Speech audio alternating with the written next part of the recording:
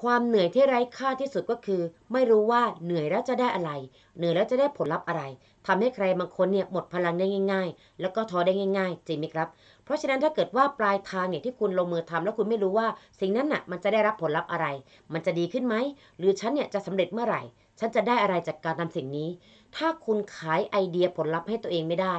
ผ่านสิ่งที่อาจจะยังไม่ได้รับในตอนนี้ คุณนะครับ ก็ลงมือทำยากครับ ลงมือทำก็ลงมือทำแบบหมดพลัง ท้อบ้าง มีพลังบ้างในบางวัน เพราะฉะนั้นวันนี้ลองฝึกขายไอเดียให้กับตัวเองนะครับ ว่าฉันต้องการอะไร แล้วรู้สึกว่าคุณได้รับแล้ว คุณมีแล้ว คุณเป็นแล้ว อยากรวยก็สร้างชีวิตให้แบบคนรวยครับ รู้สึกถึงฟิลในการใช้จ่าย รู้สึกว่ากินของบางอย่าง ก็รู้สึกรวยแล้ว มันไม่จำเป็นต้องเป็นของแพงครับ สมมติว่าวันนี้คุณจะฝึกแค่ก๋วยเตี๋ยวอร่อยๆเนี่ยคุณก็ต้องรู้สึกรวยได้แล้วครับ เพราะบางครั้งคุณต้องคิดนะว่า คนที่เขาไม่มีเงินน่ะหาเงินลำบาก เขาแทบจะไม่มีเงินกินก๋วยเตี๋ยวครับเพราะฉะนั้นเนี่ยรู้สึกรวยได้ตั้งแต่ที่คุณเนี่ยยังมีลมหายใจ ยังมีเสื้อผ้าดีๆใส่ ยังมีบ้านอยู่ ยังมีห้องเช่า ถึงแม้มันจะเล็กมันจะเก่า แต่ก็ยังดีกับคนที่เขาไม่มีที่อยู่ รู้สึกถึงความมั่งคั่งนะครับ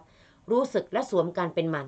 ให้ตัวเองมีความสุขระหว่างการลงมือทำดีกว่ามีความทุกข์ระหว่างการลงมือทำคนที่เหนื่อยกับทุกๆอย่างที่เขาทำอยู่ เพราะเขาทุกข์ในขณะที่เขาลงมือทำแต่คุณจะสร้างสุขด้วยการที่เห็นคุณค่าของสิ่งที่มีอยู่ แล้วขายผลลัพธ์ให้ตัวเอง ฉันรู้สึกสำเร็จทุกวัน พิมพ์พร้อมกันครับ ฉันรู้สึกสำเร็จทุกวัน โอปาอีสานมาสโคต NLP สวัสดีครับ